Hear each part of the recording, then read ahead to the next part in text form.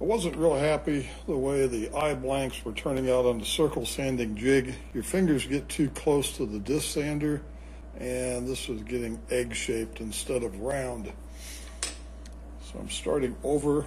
I glued my patterns to some yellow heart. These are fairly rough pieces of wood. I just glued it together. Now I will cut these apart and sand them to rough shape. Cut apart and roughly shaped on the disc sander. And I've made some discs. And all I did was draw around a fender washer. I'm going to take each one of these blanks, I'm going to glue it off-centered on one of these discs. These are glued on here. I'm going to drill a quarter inch hole right in the center of this pattern and there's going to be another quarter inch hole drilled right about here. And I'll show you what that's for in a minute. Plywood would be a better choice for this, but this should work. We take a quarter inch dowel and chuck it up in the three jaw chuck and tighten this. We take our part here and this dowel is going to be driven by this jaw. We tighten up the live center. And then the center is pushing this against the chuck. We're going to come in here.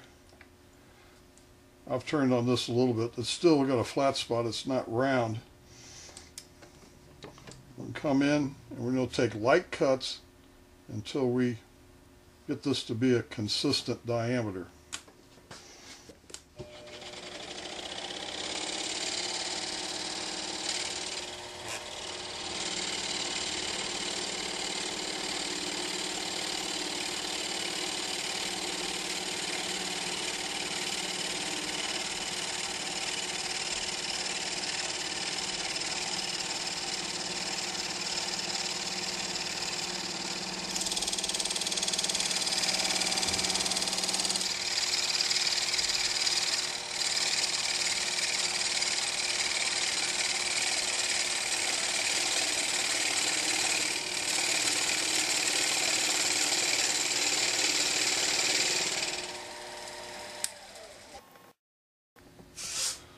So this becomes like a poor man's version of turning between centers. I keep reducing this until I get it to the diameter I want. I can check it with a caliper. I've drilled a hole in a piece of scrap wood and I can check it that way. I keep doing this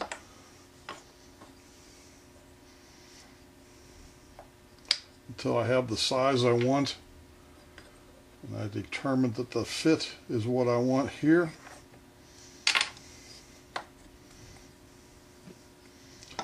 And I have the snail.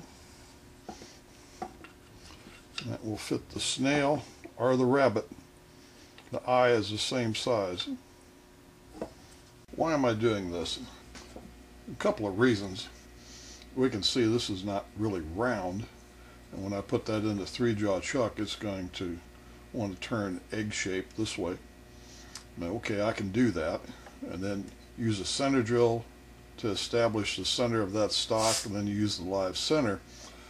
But when I get it turned down, and I have to end for end it, put it back in the chuck, and invariably that's not going to turn exactly true. Also, when I put my piece that's turned to the diameter I want in here, these jaws are probably going to dent that piece of wood. And this wood, most of your colored exotic woods are somewhat expensive, but in the case of yellow heart, a bit rare. I couldn't find this material a couple of years ago and I ended up having to dye the wood yellow.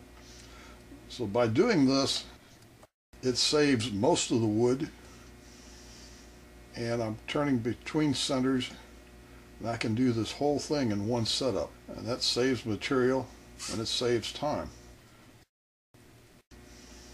When this goes into the rabbit or the snail, it's supposed to stick out a little bit past the outside edges of the body. If this wood ends up being too long, you can cut it, sand it square pretty well, put a piece of dowel in there to center it and glue it back together so that you have the correct length. If it's too short, you can cut it, put another piece of wood in there with a hole drilled in it, and again use a dowel to center the pieces and glue it together. If the piece of yellow heart you have is real thin, like maybe three eighths of an inch or a half inch long, just use yellow heart on the outside and put another wood in the center or a piece of plywood and glue it together. When this goes inside the head, anything that's in the center here is not going to be seen. So it doesn't have to be perfect, doesn't have to be the same material.